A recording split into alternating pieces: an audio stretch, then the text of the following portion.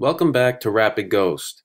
In this third section, we will configure and set up our blog using all of the options that Ghost makes available to us.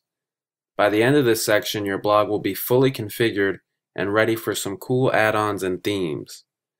In this first video, we will cover everything inside of Ghost's config.js file. After that, we will set up email, keep your blog up and running, import posts from WordPress, and finally, enter in all the information relating to you and your blog. Ghost's config.js file holds important options relating to Ghost and the way that it runs. In this video, we will learn about all of the configuration options in config.js and how they can be used to ensure that our blog is running efficiently. Let's start by browsing our Ghost directory and opening up config.js. You will notice three sections which are known as environments in your config file. One for development, production, and testing. Whether you are running Ghost for development or have a live blog will determine which section will be used. Let's look through the file and learn what everything does. The first section is development. Ghost runs on the development environment by default. So if you were to run npm start, Ghost will start in the development environment. Development is geared towards development and debugging Ghost. If you are running a production blog, you will want to make sure that it is not running in the development environment. To make sure you don't start it in the development environment, you will need to start Ghost with the production flag. The config file is a JavaScript object with key value pairs. If you're not sure what that means, don't worry about it. The first option is for the URL that your blog will be located at. If you're running a development blog, this will most likely be your local host. The next option is for configuring email. We will cover this in detail in the next video. Then we have the database options.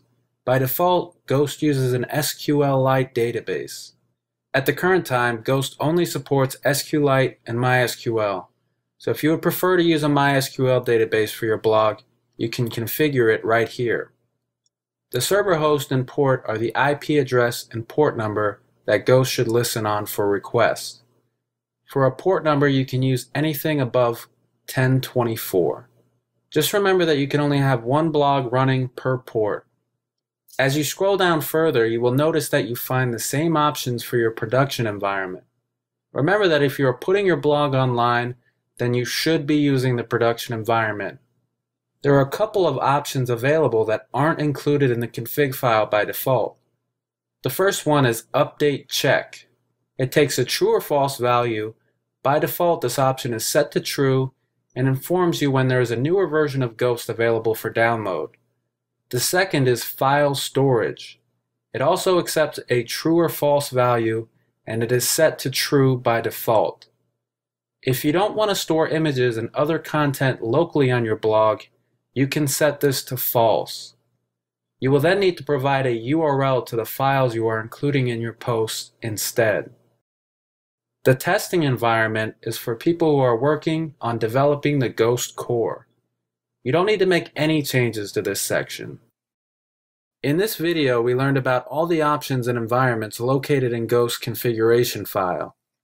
We will go back inside of the config file in the next video to set up email for password recovery and blog subscriptions.